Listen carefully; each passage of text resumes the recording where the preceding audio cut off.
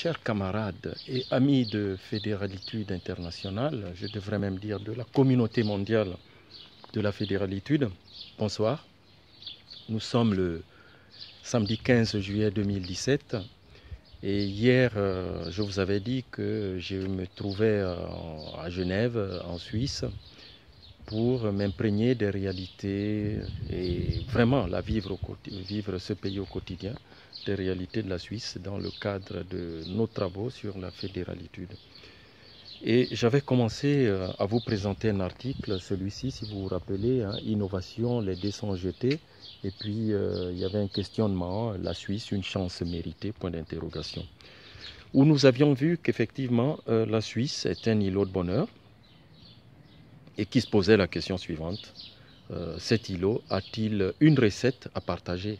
C'est une question que se posent euh, les gens quand ils regardent un succès, un succès, success story. On se dit, comment il a fait lui pour réussir? Est-ce que je peux faire la même chose que lui? Et deuxièmement, dans cet article, il était dit que, euh, question encore problématique, d'autres régions pourraient-elles s'inspirer du label suisse? Et faire du copier-coller Oui, ils en sont arrivés là, c'est-à-dire que pour eux, euh, c'est un bon modèle qui fonctionne, qui a, produit des résultats. Et euh, pourquoi est-ce que ce modèle n'inspirerait pas les autres?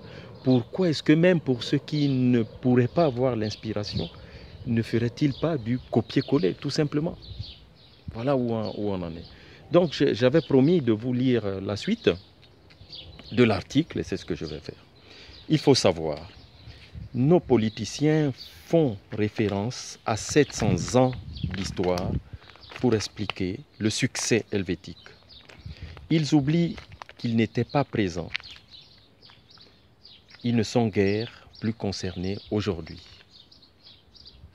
On continue. Si les racines suisses sont importantes, c'est la géographie et l'esprit montagnard qui sont les porteurs de cet ADN d'entrepreneur.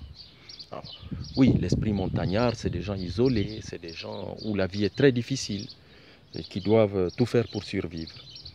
Des habitants ont choisi cette terre inhospitalière, c'est bien marqué inhospitalière, c'est-à-dire difficile, et ont tout fait pour y vivre bien.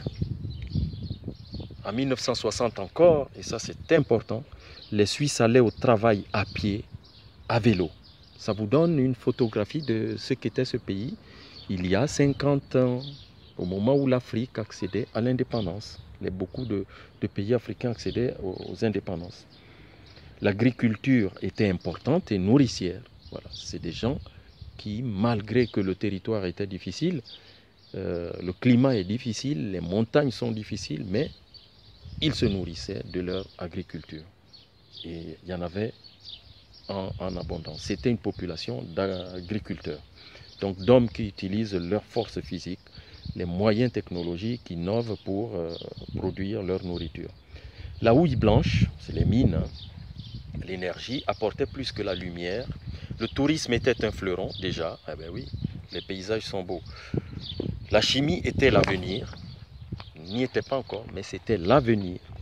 Les turbines, les moteurs de bateaux s'exportaient simplement, donc ils étaient déjà dans un processus de maîtrise de la technologie, du moteur et de la mécanique. Les banques et leurs secrets n'allaient pas bouger. Qui aurait prévu les pressions que nous subissons actuellement? Je m'arrête là pour ne pas faire des vidéos trop longues. Mais à travers euh, ces courts extraits, je pense que le vrai secret de la Suisse, vous le connaissez comme moi, c'est la gouvernance. La Suisse a un modèle de gouvernance qui permet d'expliquer sa prospérité.